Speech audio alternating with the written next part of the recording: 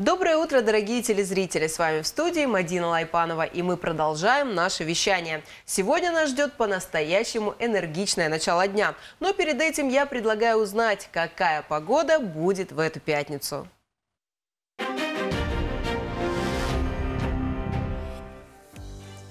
В Карачаево-Чекесии местами кратковременный дождь, в отдельных районах сильный, в горах с мокрым снегом. Ливень в сочетании с грозой, сильным ветром 20-23 метра в секунду. Ночью и утром туман, ветер северный 5-10 метров в секунду. Температура воздуха ночью плюс 2 плюс 7, в горах 0 минус 5. Днем плюс 11 плюс 16 и местами плюс 3 плюс 8 градусов. В Черкеске кратковременный дождь, днем гроза, ночью и утром туман, ветер северный 5-10 метров в секунду. Температура воздуха ночью плюс 5 плюс 7, днем плюс 14 плюс 16 градусов. Все мы слышали о пользе пеших прогулок, а многие знают и о скандинавской ходьбе. Ее часто называют финской или нордической. В России же она также известна как северная. О том, кто может заниматься этим видом спорта, что для этого нужно и какой эффект вы получите, мы поговорим с нашим сегодняшним гостем, руководителем Карачаево-Черкесского регионального отделения Российской Федерации северной ходьбы, мастером спорта по фигурному катанию на коньках и шорт-треку, инструктором по северной ходьбе Мариной Мариной Ачиновой. Доброе утро, Марина. Доброе утро. Ради, рады вас приветствовать сегодня у нас в гостях. А, такое я пообещала нашим телезрителям, что у нас будет энергичное начало дня. А, и сразу прям вот а, тема, она такая заданная как раз-таки и говорит о том, что вид спорта достаточно такой энергичный и приносящий, наверное, радость и удовольствие очень многим людям. Я знаю, что пешие прогулки сегодня рекомендуют врачи по всему миру. А, вот хотелось бы рассказать нашим телезрителям, чем отличается обычная, обыкновенная прогулка от скандинавской ходьбы. В чем а, суть, преимущества данного вида спорта и, как я уже говорила, для кого э, данный вид спорта доступен? Есть такое выражение, что просто ходьба – это ходьба ногами. А северная ходьба или скандинавская, некоторые говорят, что это ходьба руками. Угу. А, хотя, конечно же, мы и ногами ходим, но основная разница, основная и основное отличие, то, что мы очень сильно нагружаем верхний плечевой пояс, а, и а, чтобы давить на палку и продвигать себя.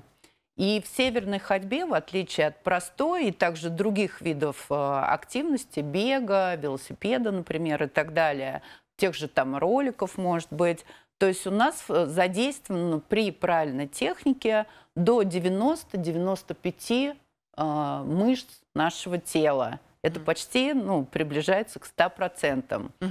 Но это, конечно, только при правильной технике. А, и правильная а, техника ходьбы дает, а, скажем, помимо включения 95% мышц, еще и дает и снижение нагрузки на суставы нижних конечностей до 30% считается, то есть, как говорят ученые. И поэтому человек, овладев этой техникой, он может пройти э, без вреда, а с пользой для здоровья очень э, большие расстояния и получая от этого удовольствие. Угу шаги на пути к здоровью. Да? А, да. Как я вас представила, вы руководитель регионального отделения вот, федерации. Это подразумевает тот факт, что у нас есть определенное количество людей, которые занимаются данным видом спорта. Вот расскажите, пожалуйста, как давно существует отделение у нас в республике, чем вы, собственно, занимаетесь и кто э, приходит к вам на занятия? А, региональное отделение в Карачаево-Черкесии я открыла в конце 2021 года. Угу. И вот с этого момента у нас сразу начались активные взаимодействия с такой организацией, как э, «Серебряные волонтеры» угу. нашей да, республики. Э, и постоянно до настоящего времени у нас проходят э, периодически тренировки – одна тренировка в неделю, она все время есть. А, в основном тренировки проходят в выходные дни, поскольку многие еще работают, кто занимается, и им удобно в выходные дни прийти. То есть суббота, воскресенье, возможно, пятница вечером. Но мы каждый раз, у нас есть чат, мы обговариваем и занимаемся на Зеленом острове а, в общем, а, в эти дни. Кто приходит? Вот а, возраст, а, вообще люди, откуда эти люди, как они про вас узнали, как у вас занятия сами проходят? А, люди узнают э, от тех людей, которые изначально ко мне пришли, как я и сказала. Сарафанное это, радио, да? Да, сарафанное радио, серебряные волонтеры а, изначально были. Это, ну, порядка их, наверное, 100 человек в республике. И вот так вот, начиная заниматься, они говорили другим. И на самом деле сейчас, вот на данный момент времени, у нас есть вот такой сплотившийся костяк.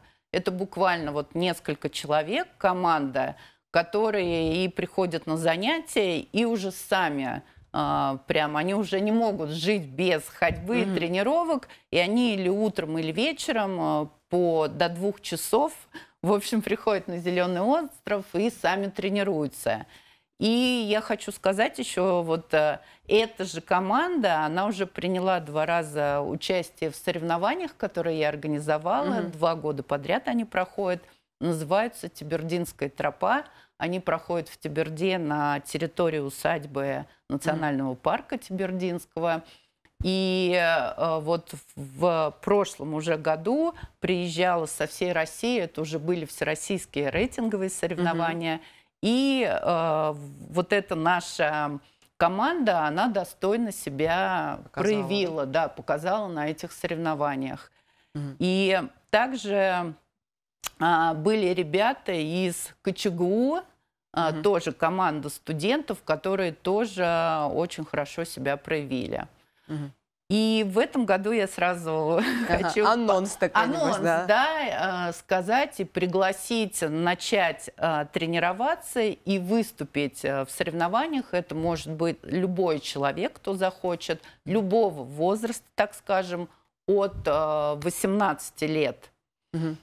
В этих соревнованиях Тибердинская тропа всероссийских рейтинговых, которые пройдут 23-25 августа. 2024 года. Добро пожаловать, буду mm-hmm. рада всех видеть. Ну что ж, надеемся, что в этом году участников на соревновании от Карачаева-Черкесии будет гораздо больше. Э, я хочу открыть небольшую тайну нашим телезрителям. Мы буквально недавно, накануне нашей сегодняшней встречи, побывали на одной из тренировок на Зеленом острове. И я предлагаю посмотреть, как же это было. Для нее не нужны спортзалы и дорогостоящие тренажеры, только удобная форма, палки и хорошее настроение. Заниматься скандинавской ходьбой могут люди любого возраста. В этом уверена мастер спорта по фигурному катанию на коньках и шорт-треку, инструктор по северной ходьбе Марина Ачинова. Вот уже несколько лет подряд она организовывает еженедельные занятия для всех желающих жителей республики на территории парка отдыха и культуры «Зеленый остров». Как утверждает Марина, здесь рады всем, от мала до велика. Наша группа, она сложилась еще с 2021 года. В основном она состоит из э, серебряных волонтеров, но сейчас у нас здесь конкретно и новые люди есть, которые хотят научиться северной ходьбе. Это уже знакомые знакомых, мои знакомые. А, чтобы прийти, может прийти любой абсолютно человек, который хочет вести здоровый образ жизни, активный, научиться ходьбе с палками, скандинавской или северной ходьбе. А, можно просто найти меня, я поделюсь координатами и узнать, когда занятия, и прийти. То есть совершенно свободно. Ходьба – простейший вид физической активности и самое лучшее лекарство от всех недугов, считает 72-летний Борис Михайлов. В зимний период он занимается лыжами и катается на коньках, потому для него крайне важно держать себя в тонусе летом. И северная ходьба – лучший в этом помощник.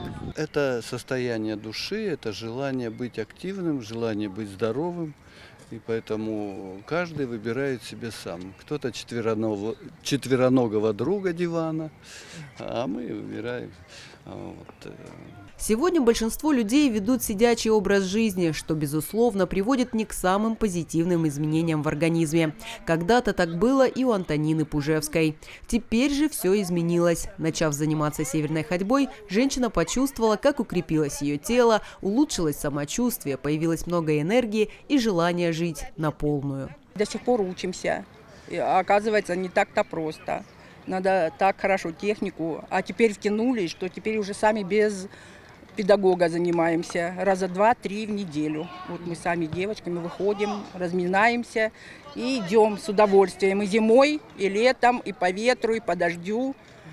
Раньше была вообще не спортивный человек. Теперь я без этого просто не могу. Я никогда не думала, что так может быть. Присоединиться к ходокам может любой желающий. Каждую пятницу в районе 6 часов вечера любители активного образа жизни собираются на спортивной площадке на Зеленом острове, где и проводят разминку, а затем отправляются ходить вокруг главного пруда. А мы продолжаем наше вещание. Я напоминаю, что сегодня у нас а, в гостях присутствует руководитель Карачаево-Черкесского регионального отделения Российской Федерации Северной ходьбы Марина Ачнова. А, Марина, давайте, наверное, а, продолжим наш разговор а, о а, северной ходьбе. Вот мы посмотрели, как проходит тренировка, кто к вам там приходит. А, хотелось бы узнать, какой положительный эффект в целом данный вид спорта оказывает на организм человека. Я вот так называю вид спорта, потому что это, по сути, действительно вид спорта, который требует дисциплины, да, каких-то усилий, а, я не знаю, э, какой-то организации, в конце концов. И вот э, хотелось бы узнать, что человек по итогу получает, когда он вкладывает силы в данном направлении. Я хочу добавить немножко, что здоровье, я люблю эту фразу говорить, на, а, на самом деле это труд. Угу. Это каждодневный труд, это любовь и забота к себе. Угу. И поэтому, когда человек руководствуется этим, ему, наверное, будет намного легче преодолеть, вот сделать первый шаг, выйти mm. из дома и позаботиться о себе, начать ходить, да. Mm. И а, сейчас, как вы сказали уже, то, что скандинавскую или северную ходьбу, да и просто ходьбу, многие медработники, они прям рекомендуют. рекомендуют. Да, и ходьбу эту можно использовать и как профилактику, ну, я уже говорю mm, про да. положительный эффект, как профилактику здоровья mm. в любом возрасте, а, как а, восстановительная и реабилитация, ну, действие, mm-hmm. да, и также уже следующий этап – это как вот вид спорта – кстати, вот наша Российская Федерация сейчас делает очень больш... ну, много работы, усилия, и, возможно, в этом году э, мы все надеемся, что северная ходьба будет отдельным видом спорта. Угу. Наравне, вот как там фигурное катание, ну, угу. шорт-трек, как я занималась, угу. лыжи, биатлон и так далее. До вот в настоящий момент это дисциплина спортивного туризма. Угу. Вот. И немножечко это... другой статус какой-то, да? Немножечко, да, другой статус. Пока но будет, в общем, все Будем хорошо. надеяться, да, да, что все сложится. И поэтому э, ходьба влияет очень разносторонне и влияет на разных уровнях здоровья, потому что понятие здоровья, оно очень глубокое ну, да. само по себе. И очень большой эффект э, тоже доказано уже исследование научное, что это и психоэмоциональное э, состояние, состояние человека улучшается. То есть, когда он идет, особенно если это идти в красивом месте угу. и на природе, да, да, на природе видами, э, дышать чистым воздухом, опять угу. же, если мы на природе, да, где-то, вот. А может быть, если человек не один, а там группа людей, общение, то есть это тоже для многих ну да, очень важно. Окружение. Это да, социальный такой фактор, да. И вот я говорю к тому, что ходьба, если правильной техникой, она э, способствует воздействию на все системы и органы. И мы еще очень большой положительный эффект оказываем на а, сердечно-сосудистую систему, на кровообращение, работу сердца. Угу. Мы помогаем. А почему я всегда об этом говорю? А, то, что наша техника, она двухфазная. То есть мы напрягаем впереди а, руку, так скажем, угу. чтобы себя протолкнуть, а сзади мы расслабляем. И наше сердце также работает как мышца, напряжение, расслабление, напряжение, расслабление. Угу.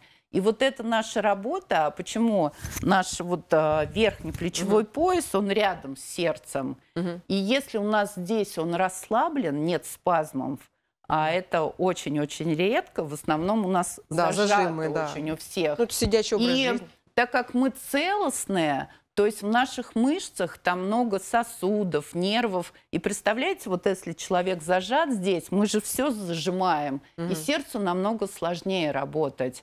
Угу. А наша задача в ходьбе, это основа правильной техники, здесь расслабить все. И опять же, я уже про технику заговорила, да, да, да. что у нас Но ну, здесь амплитудно-маховые движения расслабленное. Угу. Не вот так, как мы идем, опять при зажатой, можно угу. увидеть сейчас очень многих вот так вот идут, угу. а именно от плеча расслабленной рукой мы делаем движение. И еще вот эта двухфазная работа, то есть мы помогаем сердцу без лишней нагрузки проталкивать кровь по кругам кровообращения угу. и совершать свою работу. Марина, ну вы так интересно рассказывали про технику, и вы действительно правы. Я часто сама в жизни замечаю, что очень многие люди даже вечером, там, если выйдя на зеленый остров, ходят э, с палками для ходьбы, да, вот специальными. И примерно, как вы показали, вот так, да, не совсем правильно.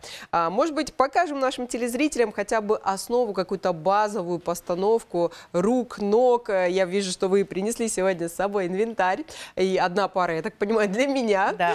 А, будет здорово, если мы продемонстрируем, и вы немножечко и мне расскажете, может быть, и я начну тоже ходить вместе с вашей группой. С удовольствием. Давайте попробуем.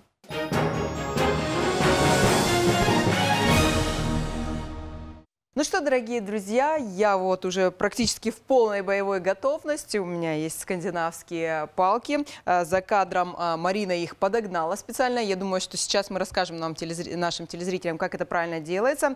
Более того, э, существует особая техника да, или приспособление, я не знаю, правильного крепления руки к данным а, вот палкам. Марин, ну расскажите, для чего вообще подгоняли эти палки, почему это важно, знать -hmm. рост человека и что особенно вот в этих креплениях? Угу. Хочу сказать, что для правильной техники северной ходьбы нужны специальные палки угу. именно для северной ходьбы или скандинавской ходьбы. И чем же они отличаются от других всех видов палок, да, трекинговых, угу. например? То есть это вот, э, вот это вот э, крепление, да? Крепление, да, которое называется темляк угу. или полуперчатка. Угу. А, в отличие от трекинговых палок, а, где просто петля, наверное, видели да, вы, да, да? А, это дает нам возможность отпускать во время движения палку угу. и потом делать маховое движение, выносить ее по воздуху, угу. чтобы она никуда не отвалилась и не потерялась, в общем не потерялась, да, и плотно сидела. Вот такие темляки. Это основное отличие то есть угу. не сама палка, хотя там тоже есть нюансы, вот нюансы, да, по вот этой верхушке, а угу. вот именно темляк. Итак, и... вот я впервые пришла на занятие по северной ходьбе. Вот что, надели, подогнали да. по росту. А, угу. Мы подогнали вот самый простой способ, везде, который можно при, применять, без угу. формулы, да, хотя она есть. Просто человек встает угу. с ровной спиной, а, макушкой вверх, да, и вот здесь должен быть прямой угол. А, есть нюансы опять. Если начинающие, то мы можем сделать чуть ниже на первых занятиях. Это ага. проще идти. Угу. А, как для меня. Как да. Сейчас Некоторые спортсмены на соревнованиях, ну, как вы могли бы тоже видеть, например, ага. у лыжников, да, есть да, вот да. такие высотой палки, как да, их рост. Да. А, и здесь точно так же, если мы сделаем чуть выше прямого угла, это будет э, сложнее, угу. но будет придавать э, эффективнее, эффективнее да? да, для скорости, так скажем, мы себя Сильнее. вынуждены будем проталкивать намного дальше вперед угу. и будет давать вот этот импульс вперед. Угу. И основное, что в технике, как мы уже с вами э, говорили об этом, то есть это не вот такая вот ходьба, угу. хотя я уважаю всех людей, которые даже Ходят, так да. вышли, и может быть им нужно, да, просто в данный момент опереться, опереться да? да. Но если мы э, хотим наибольший, наилучший эффект для здоровья, то это должно быть э, вот такое у нас как амплитудно-маховое да? движение, да, угу. от плеча.